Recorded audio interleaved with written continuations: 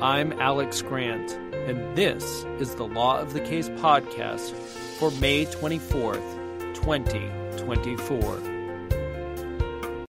On Tuesday, the defense rested its case in Trump's hush money trial, and the most important decisions in the case are going to be made by Judge Merchan as he puts together the jury instructions that will be read to the jury after closing arguments next week.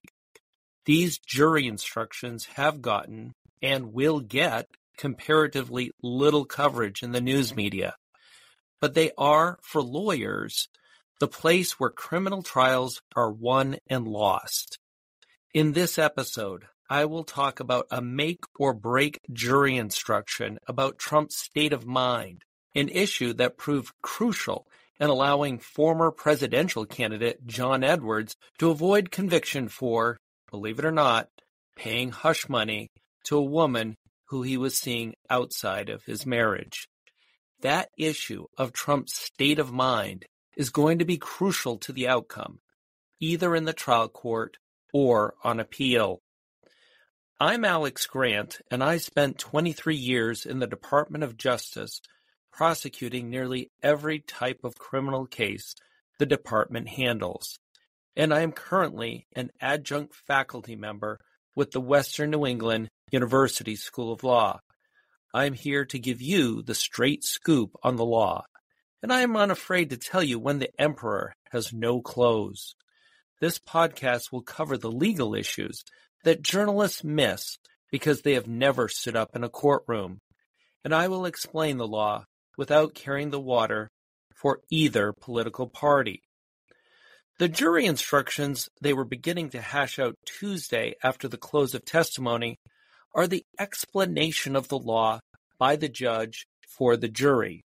And in theory, the jury will pay close attention to the law, understand it completely, and apply the law to the facts that it finds to arrive at a verdict.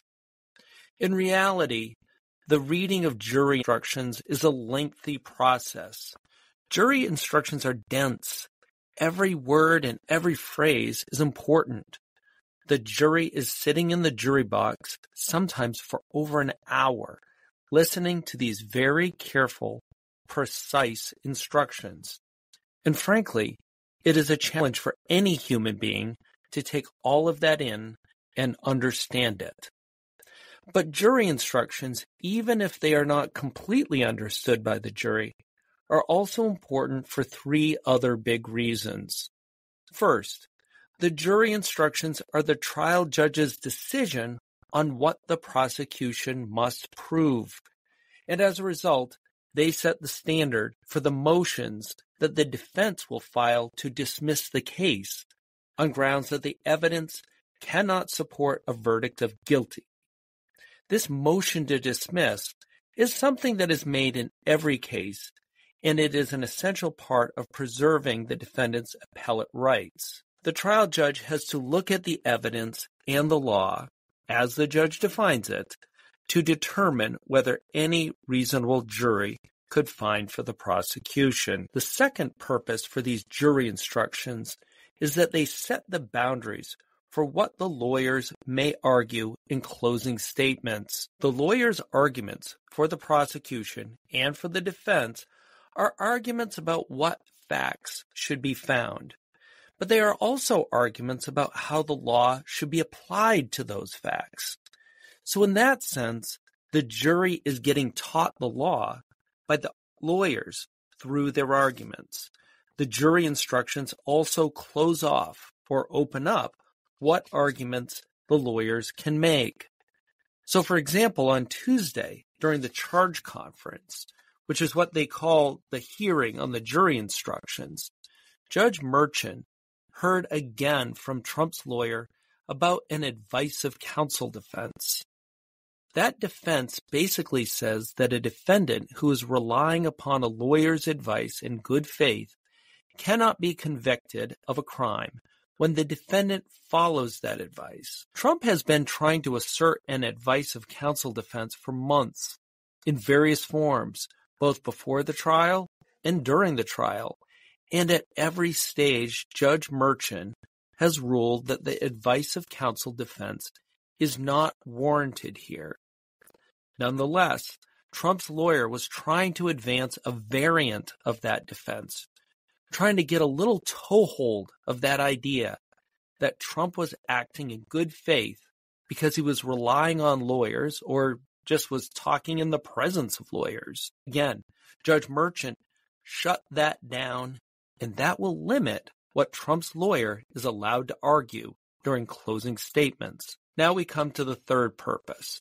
And here's the other important audience for these jury instructions. Now, I suggested to you that juries might or might not fully comprehend all of the nuances of complicated jury instructions. Appellate judges, on the other hand, do understand them, and they have the time to pore over all the transcripts and to do the research to make sure that the jury instructions were correct. One of the main areas of appeal in criminal cases is a claim by the defendant that the jury was instructed incorrectly on the law. So these are high stakes for the prosecution because if these jury instructions are not correct, then the conviction could be overturned even if the jury sides with the prosecution. In this episode, I will talk about one issue that will be addressed in these jury instructions. It has the potential to derail the prosecution before the jury or before the appellate court in the event of conviction. This issue has barely been touched since the indictment came down. So much ink has been spilled in all the writing about this case, and so much air has been expended in the discussion of this case, and yet this critical issue has barely been mentioned. As a former federal criminal prosecutor, this issue would have been at the forefront in my mind at the beginning, the middle, and the end of this case. And that issue is Trump's state of mind, or what they like to call in law school, mens rea, which is Latin for the defendant's culpable state of mind. Now, I say that this would have been at the forefront in my thinking because proving the defendant's state of mind is often the most difficult thing to prove in a white collar case, which this false records case is. For some criminal cases, proving state of mind is hardly an issue. For example, if someone is being prosecuted for bringing a boatload of cocaine into the United States, Miami Vice style, the question of his state of mind is pretty clear, and the law does not require the prosecution to prove that the defendant knows, for example, that bringing in a boatload of cocaine is illegal. What the prosecution would have to prove in that drug case is that he possessed the cocaine in the boat and that he intended to distribute it. And with a whole boatload of cocaine, it's pretty clear that whoever owns the cocaine, the purpose is to distribute it because it would be impossible to consume all of that cocaine yourself. So that's an easy case where state of mind is not really an issue. In a white collar case, however, the acts of the defendant are usually, in and of themselves, lawful. So think of what Trump is being accused of doing. And again, let's focus on the doing part of it before we get to his intent. Some of the key exhibits in this trial are checks and record entries writing out a check and making bookkeeping entries, well, those things are typically entirely lawful. And what makes them unlawful is the context and the intent and the purpose of writing those checks and making those bookkeeping entries. So you see the inherent difference between, say, the drug trafficking case I illustrated before, where the act is inherently unlawful, and a white collar case where the act is inherently lawful and legal. So everything depends on the mental state of the defendant, the mens rea. That mens rea is different for different crimes. To take the example of homicide, most states have a manslaughter statute that requires proof of recklessness. And then a lot of states, the next step up, is second degree murder, where the taking of, in, of life is intentional, not just reckless. And then the third step up is typically first degree murder, where there needs to be proof of premeditation, not just proof of intentionality. So you see how the degrees of those crimes correlate to greater and greater culpable mental states. So the question gets to be what is the mens rea requirement for the particular crimes that Trump has been charged with in the hush money case? He has been charged with making or causing others to make false business records. In other words, his own business records. That's the misdemeanor offense.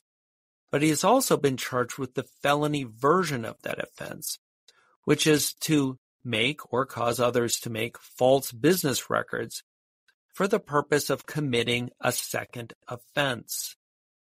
Now, there's been a lot discussed about what exactly that other felony offense is.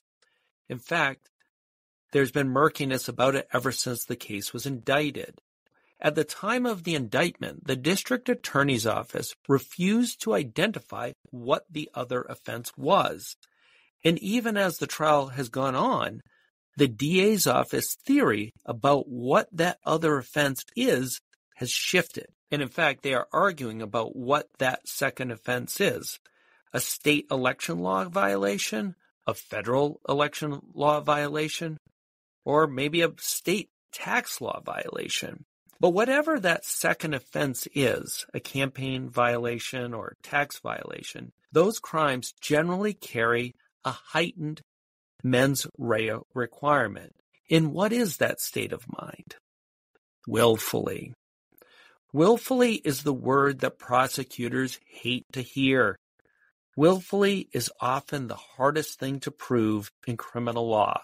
So what is willfully? Does that mean? It means that you know that you are violating the law. It means more than intentionally. Intentionally means that you are taking an action on purpose. So it is not enough in a tax case that you intentionally signed your tax return and that it was false. In a tax case, you need to know that it was false. And part of that is knowing the tax laws. That's a heavy burden for prosecutors to prove. So why does the law impose such a heavy burden in some cases, and especially white collar cases? Well, go back to the tax return example I just gave you. Most Americans by April 15th file their income taxes. Sometimes they make mistakes. The tax code, both state and federal, is complicated. If it was enough that the tax return was false and that it was signed intentionally, then there would be a lot of people who could potentially be charged with criminal offenses because they did not understand the tax code. Again, imagine an ordinary homeowner trying to itemize deductions. There are rules on what deductions are appropriate and which deductions are not. This is a common process that ordinary taxpayers go through every year. And that's not to mention richer people who have much more complicated tax situations where they have investments and they have to decide things like amortization and carrying losses from one year to the next. Again, the tax code is complicated. So the courts, including the Supreme Court, for decades have decided that for certain offenses, including these tax offenses, that there would be a willfulness requirement as part of the crime.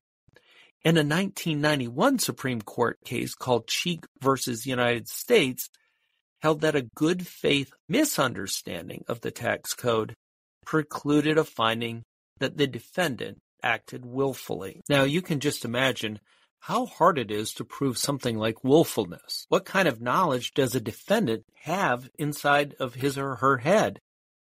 One of my favorite standard jury instructions has to do with determining criminal state of mind. And it says that the defendant's state of mind can ordinarily not be determined directly, but must be determined circumstantially.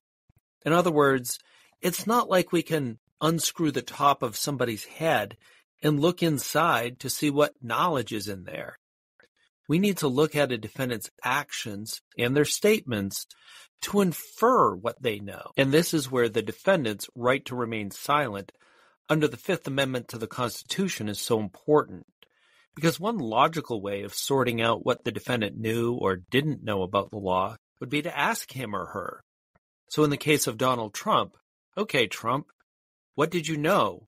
What was your understanding? And we could look at that explanation and decide, okay, does that make sense? Is it that plausible? But the defendant, including Donald Trump, does not need to provide any explanation. He does not have to say anything as part of the police investigation or the court process. Some of the murkiness of the defendant's state of mind is built into the system. It's an inevitable part of the right to remain silent. So a lot is riding on this. In fact, I would suggest that the whole case probably rides on it. If you have been following the coverage of the trial at all, there has been a lot of evidence about Donald Trump having a fling with Stormy Daniels and at least one other woman. There has been evidence about a desire to keep that quiet. There's been evidence about efforts to pay money to keep that quiet during the election season. There's been testimony from Michael Cohen about Trump's personal involvement in the payment that went to Stormy Daniels. But what about his criminal state of mind? What about Trump's knowledge of the law relating to that second offense? So remember what those candidates are for that second offense. You have the campaign finance violations that are either state or federal, or you have state tax law violations. Now, the prosecution is pushing back hard against this willfully requirement. Trump's lawyers naturally want the willfully requirement. In fact, any defense lawyer who can plausibly make the argument for willfulness instruction will push hard to include that because it is such a high burden. It is such a hard thing to prove.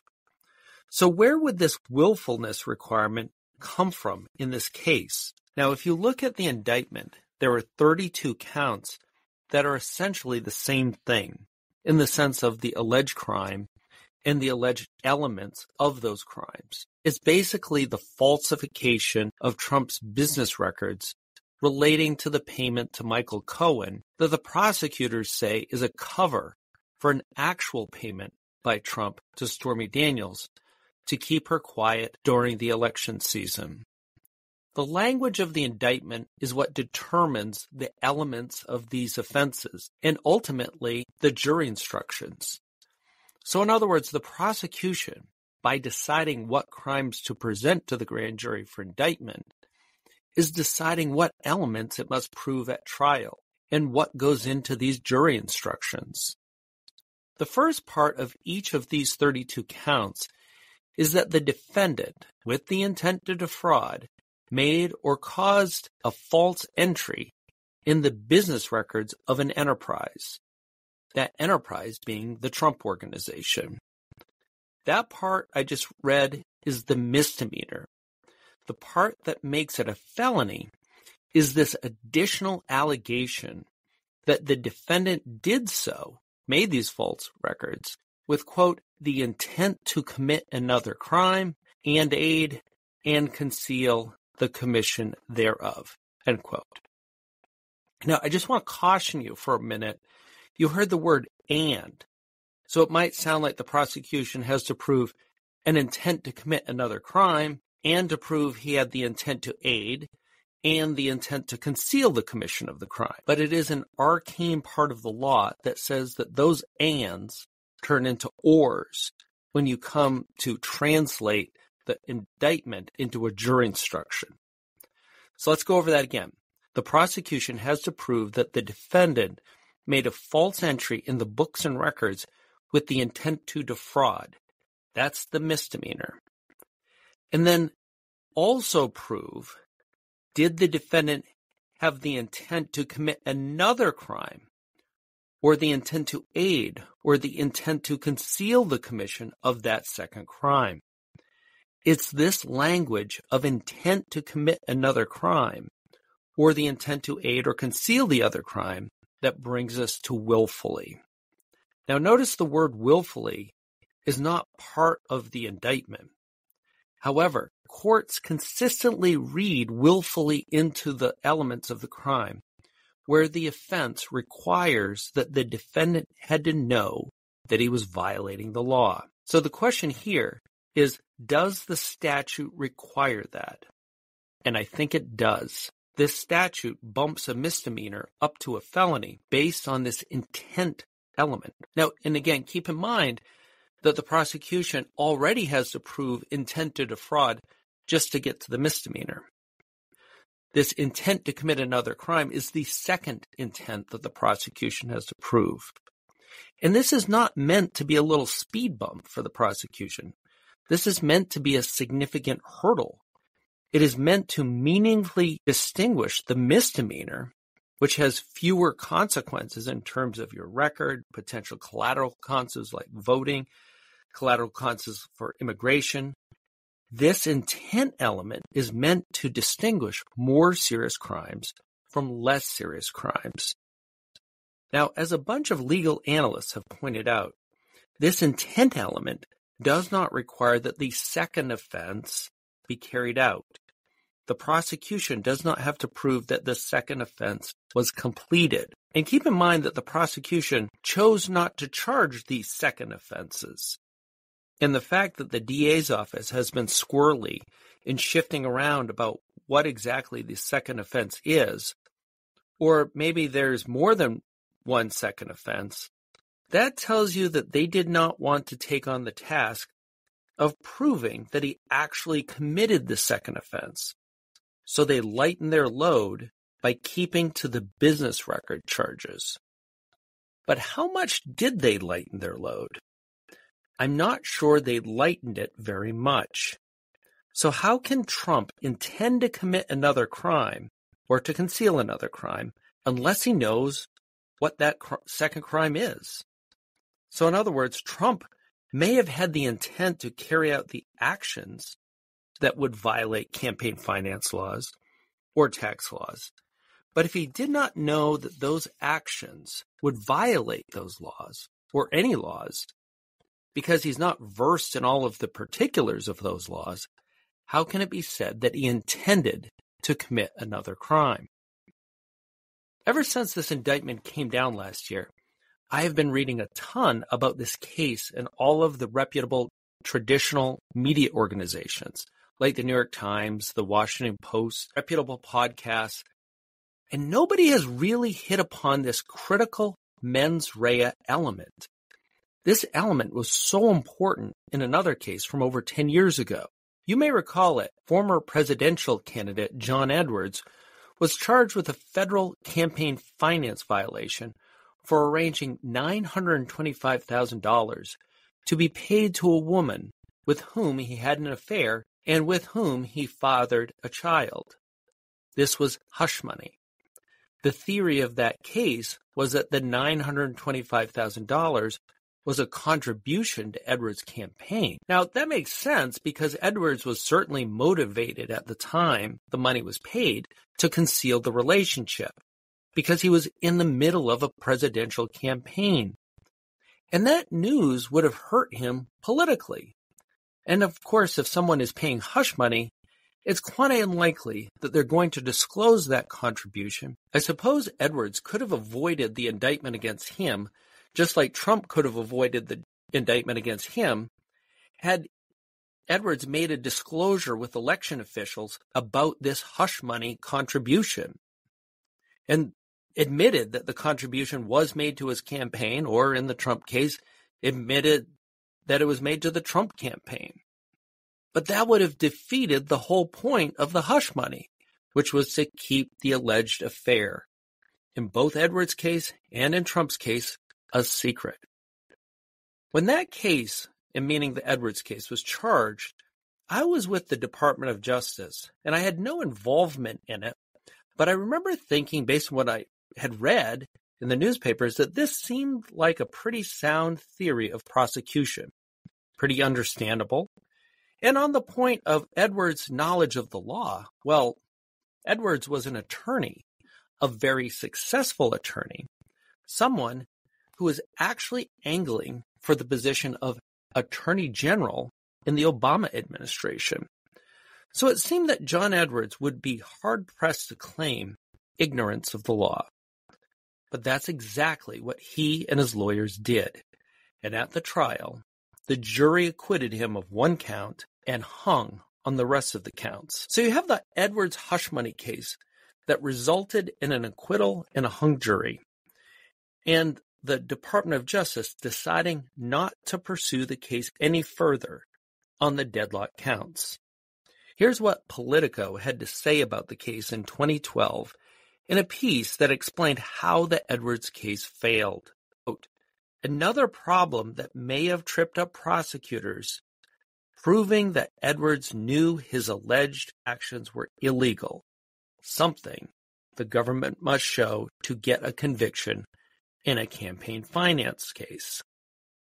And here's what Edwards' lawyers said shortly after the decision was made not to retry him on the deadlock counts.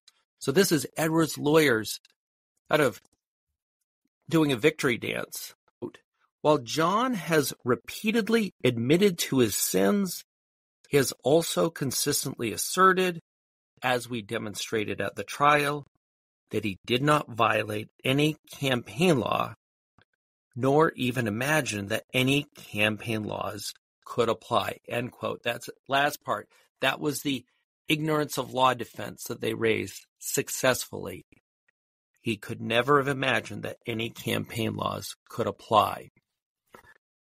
Now, after the indictment came down last year in the Trump case, the Washington Post did a podcast on the charges and actually made the comparison to the Edwards case. And the takeaway for the Justice Department prosecutors from that is that if you try to prove a crime out of hush money payments on facts like these, you know, an alleged affair from years ago, it is very hard to convince a jury that that was done as a campaign expense as opposed to to protect the person's marriage, to protect the person's reputation, uh, for pr- essentially private reasons. But notice that in framing the case and making the comparison between the Trump indictment and the Edwards case, that the reporter is framing the burden of proof as showing that Trump had a campaign or political purpose to hu- pay the hush money versus a private reason, i.e., to keep it from his wife, Melania.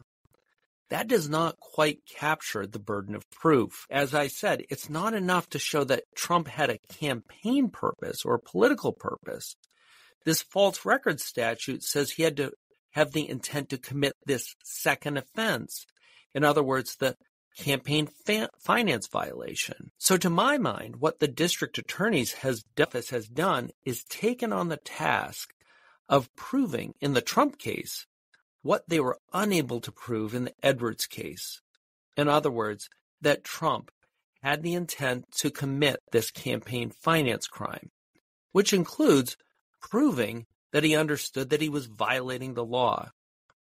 And you would think that if the prosecution had trouble proving that John Edwards, the lawyer, John Edwards, the attorney general prospect, did not understand campaign finance law, then it would be even harder to prove that Donald Trump, businessman, would understand campaign finance law and that he would understand that he was violating campaign finance laws by arranging for this hush money payment. So, in this podcast, the Washington Post came close to hitting the nail on the head, but not quite.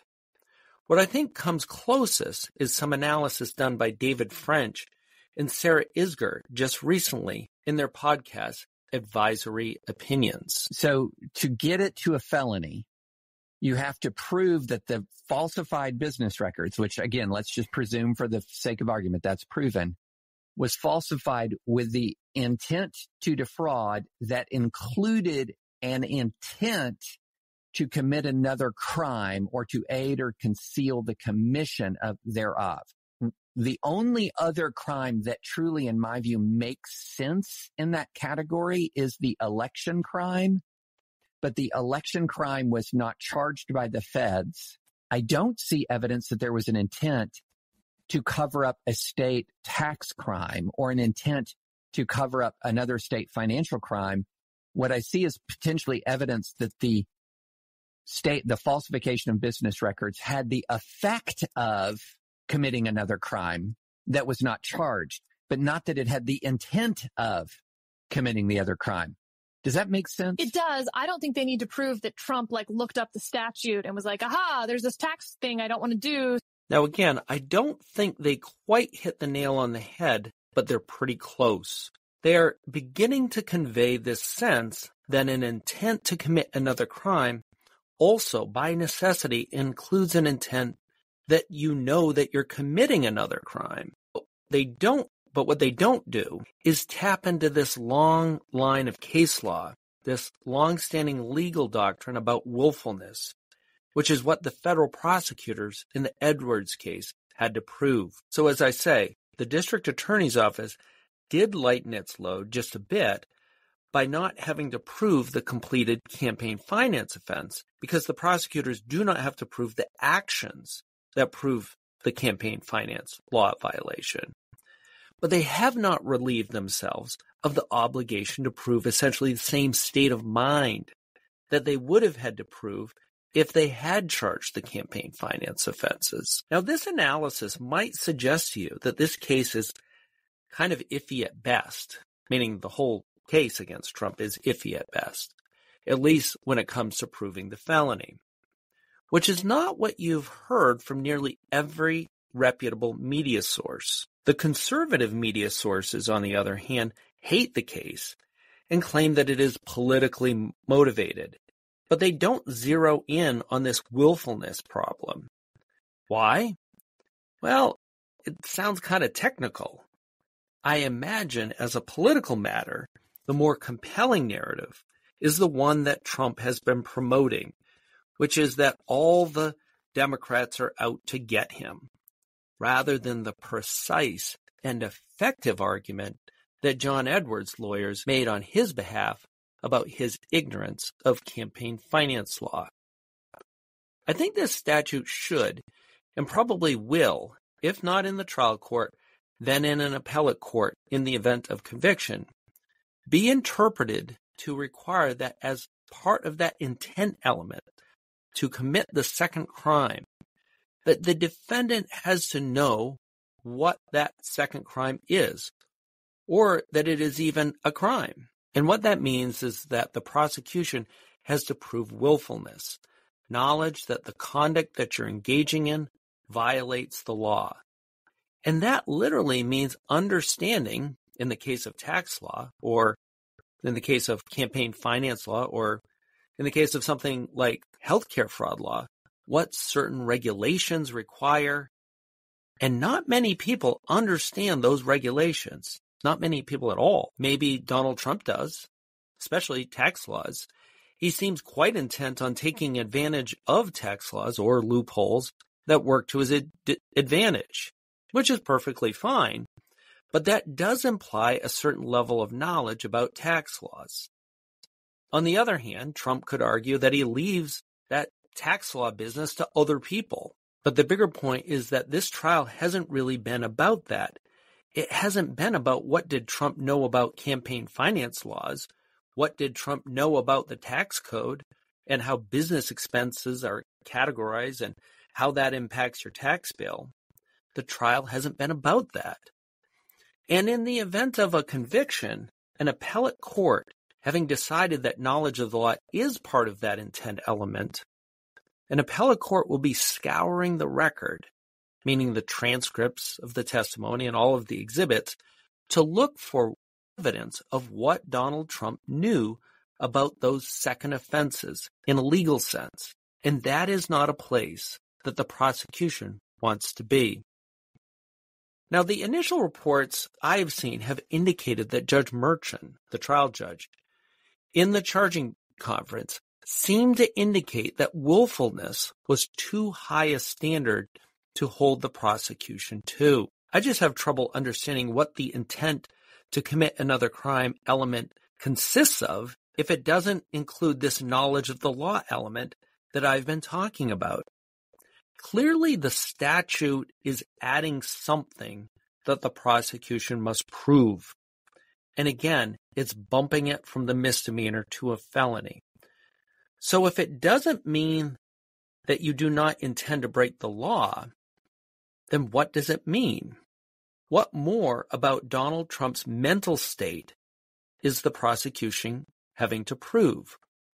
What the prosecution is probably saying, and I'm saying probably because their proposed jury instructions have not been made public, is that they need to prove that Donald Trump intended to do the acts that constituted the second offense. But the problem with that reading is that the statute does not require that the second offense be completed. The statute does not require that the defendant took any acts in furtherance of the second offense other than the falsified business record. So the prosecution would like to just have to prove that Donald Trump intended the act of falsifying the business record, but that's what you need to prove to prove the misdemeanor.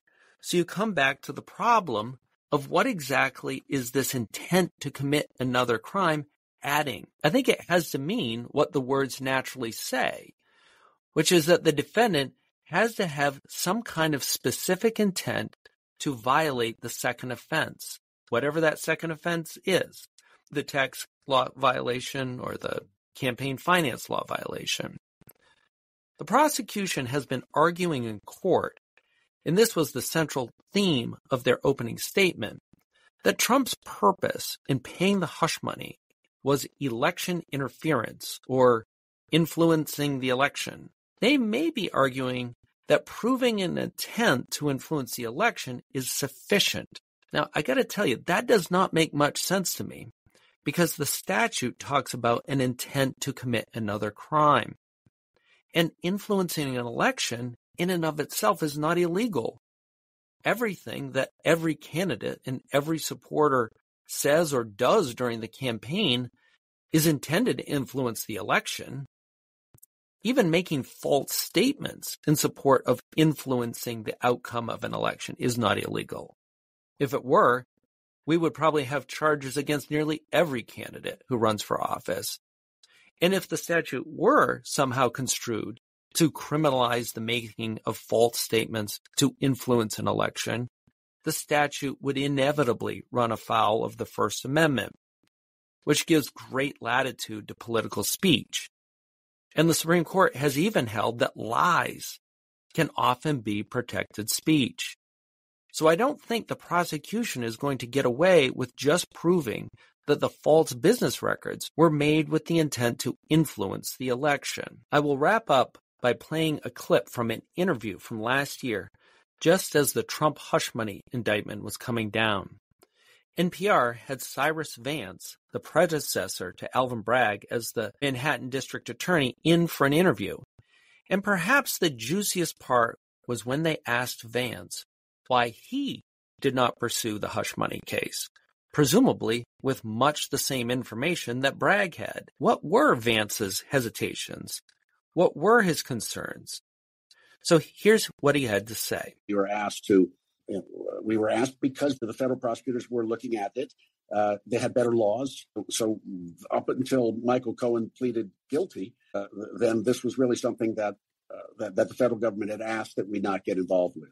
You know, and also I think it's I think it's well known that there are, you know, that as a matter of New York law, unlike federal law, there are novel issues uh, around using uh, the false statements statute in connection with committing a crime that violates federal election laws. Uh, there's no surprise there secret there. So there were a number of reasons uh, that caused us to um, to, to think carefully. Notice that he mentions that the federal prosecutors had better laws, and the federal prosecutors, with the better laws, declined to prosecute Trump for the Stormy Daniels payment. Vance cited a different issue than the one I've been analyzing, which is can the New York false record statute pick up a federal statute as the second offense? But it does go to show you that some smart people hesitated and ultimately decided not to bring this case that is about to be decided by the jury. This question about willfulness and the burden to prove Trump's mental state is a big, big decision.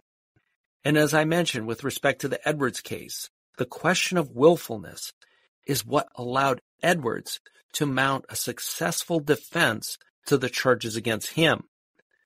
This may sound like a technical issue or a technical defense, but proving mental state is what criminal prosecutions are all about.